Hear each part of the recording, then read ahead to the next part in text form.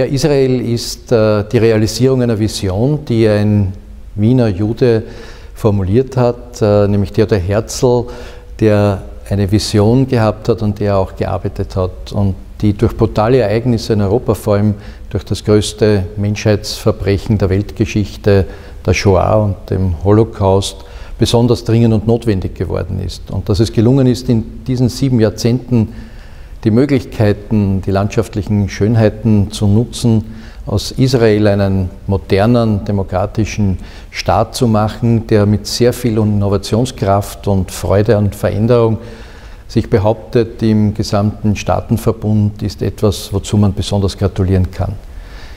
Wir blicken in Wien immer mit äh, besonderem Interesse auch auf die Neuerungen, die es in Israel gibt, vor allem im Bildungssystem und auch in der Verbindung zwischen Wirtschaft, Bildung und Wissenschaft und sehen, mit welcher großer Innovationskraft und Veränderungsbereitschaft hier Schritte gesetzt werden.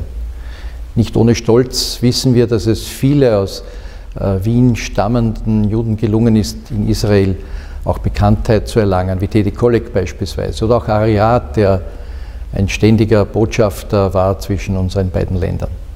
Ich freue mich sehr, wenn die guten Verbindungen äh, weiterhin ausgebaut werden können und möchte noch einmal ganz herzlich gratulieren zum 70. Geburtstag und allen Menschen in Israel für die Zukunft, vor allem Frieden und Glück wünschen.